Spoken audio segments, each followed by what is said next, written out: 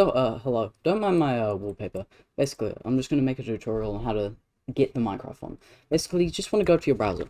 So, this only works for PC, by the way. You're gonna search Bloxstrap. You're just gonna go in here. You're gonna download the latest released. Release, not released. You just click it. I already have this version, but I uninstalled this just so I can make this video. Okay, look.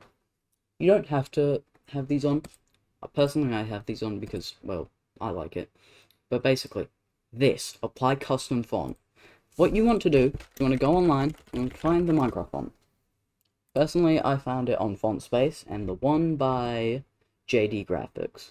Now, I already have this one, as you can see, but like I said, just for the video, I'm still going to use it. Okay, now, uh, this isn't in, like, my downloads. I just made a random folder for this, because I don't want you seeing my downloads. Not that there's anything bad in that, I just don't want you to. Anyways, you just want to extract the files, because you're going to need to use the OTF and the TTF.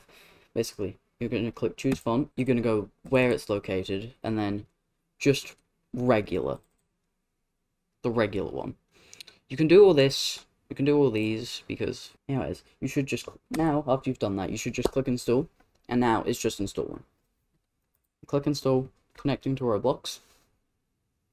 Installing Roblox. Should be installed. Okay, so roblox.com. Uh, let's just go into Strongest Battlegrounds, for example. Bloxstrap should launch, applying modifications and stuff. Starting Roblox. So this should all open up and stuff. And then the game should just launch. Just like normal.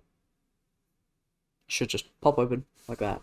And look, now you have the Minecraft font. So yeah, that was just a basic tutorial on how to actually get the font. If this was helpful, like, I guess, and uh, bye.